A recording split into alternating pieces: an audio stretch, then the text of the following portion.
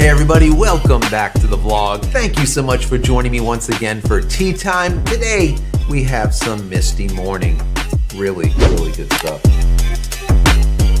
So today we're going to be talking a little bit about Serif as well as Adobe. Now, a lot of us creatives in the community know both of these companies.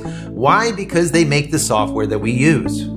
Well, they both are doing something really great, and that is allowing folks to use their product at home for free for a certain amount of time. Now, Adobe is doing it for the students, right? All the students that are stuck at home, they're having to do home learning now because all the schools are closed because of this COVID-19 corona nonsense, right? So, they're doing a thing right now. Adobe has Creative Cloud free, basically for the students for X amount of time.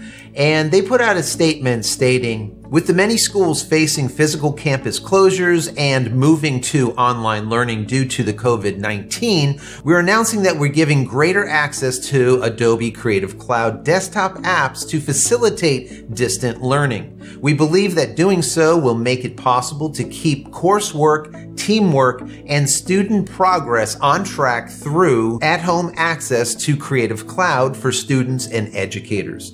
As our education customers work to ensure both safety and learning continue in their communities, it is our goal to help them with the tools they need to move through these uncertain times. Our commitment to do so in a seamless way continues to be unwavering. So that is Adobe's statement. Now, if you like them or you don't, at least they're doing something for our kids, our students, to be able to use their software at home for free as of right now. Now, do I think that Adobe is most of the time disingenuous? Yes. Are they constantly trying to figure out a way to grab cash as quick as possible, as much as possible? Yes. You know, I don't personally think it is a good company. Not that the software isn't good. The software is fantastic, but the company itself, its core, its soul, is really not great, right? And that was one of the reasons why I broke ties with Adobe. As you can see here, Life After Adobe Cutting the Cord. I put together that series about a year ago now or so, and I broke all ties with Adobe altogether. And uh, I took you on that journey. So if you haven't watch that series. There's probably about 18, 20, I don't know. There's a bunch of videos in there. I'll put a card somewhere right around here. Go check that out because if you are one of those people that are looking to break away from Adobe software, I don't care what it is, Photoshop, Illustrator, Premiere, maybe Publisher, InDesign, Audition, whatever it is, okay? I've probably did a video on it and I brought you through a bunch of alternatives that I tried and I told you what I like the best. Not that they are the best because your use is going to be different than mine, but I show you what I use it for and then you could determine which one is best for you. So definitely check that out. Life After Adobe, Cutting the Cord. The series is fantastic. Now, I'm going to be adding to it most likely, and I'm going to tell you why in just a second. Let me get into the second portion of this. Now, not only is Adobe giving students something for free, Serif, which creates Affinity Photo, they also make Affinity Designer as well as Affinity Publisher. If you don't know what those are, Affinity Photo is a Photoshop alternative, Affinity Designer is a Illustrator alternative. And finally, Affinity Publisher is a InDesign alternative.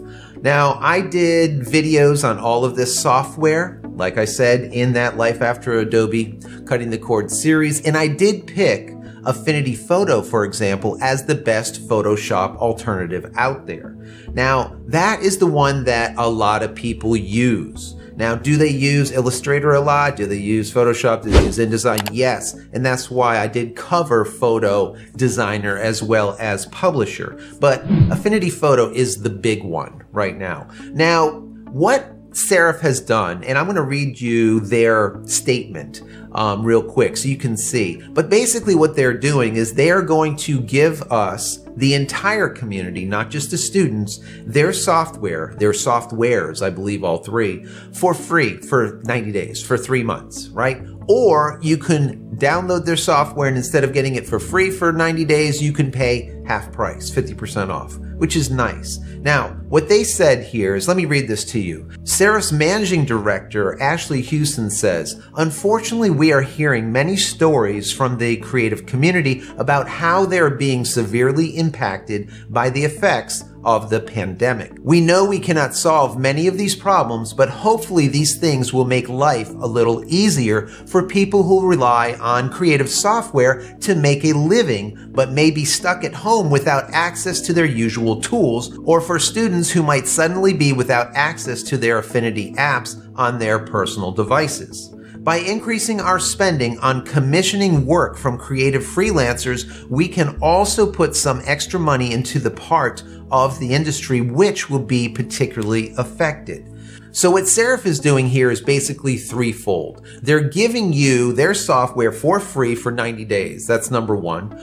Number two, they will allow you to buy it for 50% off if you want at any time. I believe it's up to April 20th. If I got that number correct, if I didn't, put it something in the comment area below. Anyways, I think it's April 20th. They also pledge to engage or maybe hire about a hundred freelance creatives like myself. Like for doing some type of maybe video or photos or illustration or something to depict their software in use is what I'm going to guess. That's really cool. I really like that a lot. So instead of just simply like Adobe's doing it is just giving their software to students for X amount of time. Affinity Photo is giving it to everyone to use for that three month period. And then if they want to purchase it, they can purchase it for 50% off. I like that also. I do like that they're also injecting money into the community, into the creative community when we need it, right? And hiring, let's say 100 people, quote unquote hiring, however they do it. I think that's cool. It just makes sense. I think it's just a better way of doing things. Like I said earlier, I feel like a lot of times when we hear things that Adobe's doing, it just feels so disingenuous. It just simply does. To me, now, do I have anything against them? No. Do I think that their software is great? Yeah. I used their software for 15 years. Do I use it today? Absolutely not. Am I still a professional? Yes, I am. Can you use other pieces of software like Serif's Affinity software and still be a professional? Yes. And that's what I proved to you with this Life After Adobe Cutting the Cord series. So what I think I'm going to do is I'm going to make more Affinity photo videos on using the software. I've been using it now for, like I said, almost a year. Is it just a simple one-to-one, you know, you know Photoshop you go right into Affinity Photo and there you go? No. Is there some similarities? Yes. But some of the stuff that you were doing in Photoshop, when you go to Affinity, you're like, where is it? What do I do? Right? So it is a learning curve. Nothing is just absolutely perfect from one package to another package. You have to learn. So you know what? Instead of me spinning my wheels, like I do sometimes, I'm going to do as I said I was going to do. I'm going to put a poll over here. I told you in the last video I was going to start doing these polls. Well, here comes one. Yes or no? Do you want me to create more helpful tips, tricks, how-tos, all that stuff on Serif's Affinity Photo? If you do, I will make them. If you don't, I won't.